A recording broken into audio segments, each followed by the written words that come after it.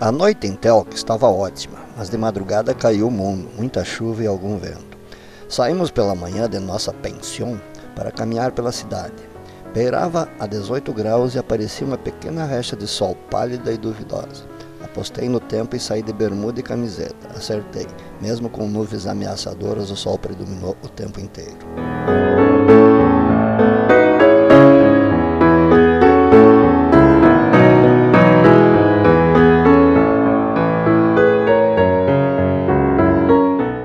Tel foi fundada no século XIV pelos senhores feudais de Radec como assentamento fortificado, com um castelo separado da cidade por uma grande muralha. Em 1992, Telco foi declarada Patrimônio da Humanidade, distinção que contrasta com o relativamente pequeno número de turistas que animam a visitá-lo.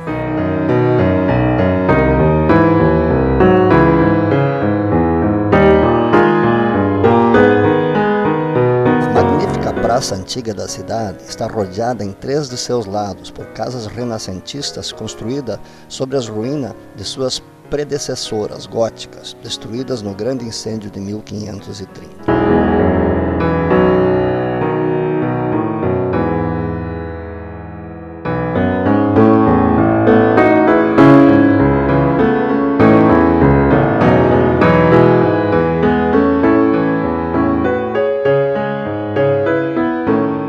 Destaca-se no conjunto arquitetônico da cidade a Torre Romântica, a leste da praça, e a coluna mariana, de estilo barroco, em harmonia com o resto do quadro. Mas o monumento mais representativo de Telco é o Castelo de Água, de 1568, no extremo ocidental da praça,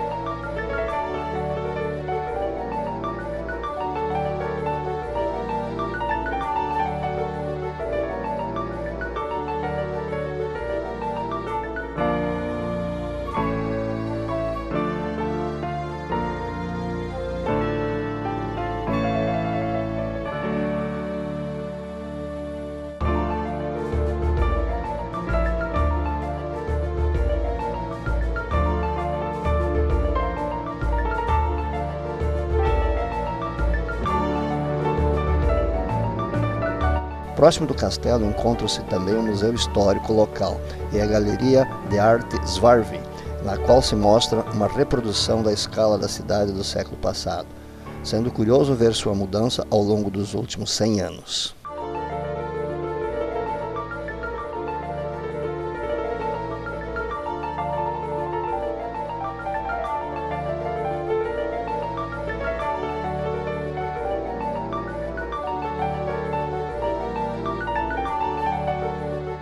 Telca é daquelas cidades gostosas, agradáveis e charmosas, que prende a gente e faz com que você não queira ir embora tão cedo.